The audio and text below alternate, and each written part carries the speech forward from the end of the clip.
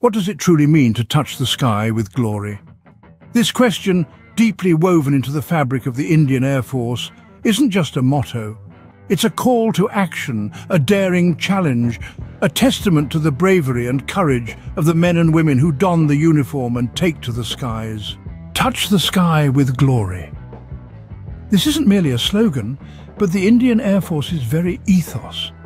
It represents the force's unwavering commitment to protect our nation, a commitment that demands courage, skill and an unwavering sense of duty. Air Chief Marshal Birender Singh Dhanoa once said, Courage is not the absence of fear, but the triumph over it. In the face of adversity, it isn't about eliminating fear, but overcoming it. It's about harnessing that fear and using it as fuel for victory. In the same vein, an old Indian Air Force saying goes, the more you sweat in peace, the less you bleed in war. This underlines the importance of preparation and training. The harder the training, the lesser the casualty in the war. Air Marshal Manoj Kumar Garg once noted that, in the sky there is no distinction of east and west.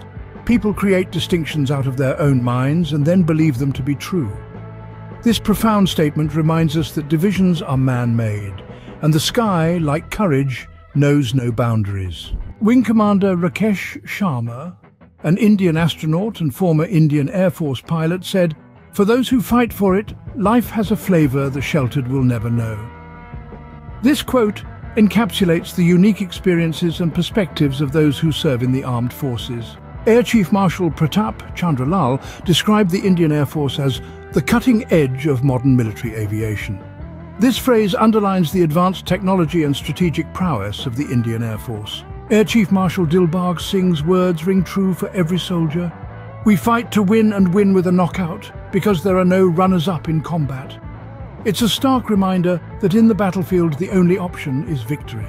Air Marshal Subrata Mukherjee, the first Indian Chief of the Air Staff, believed that the will to win, the desire to succeed, the urge to reach your full potential, these are the keys that will unlock the door to personal excellence.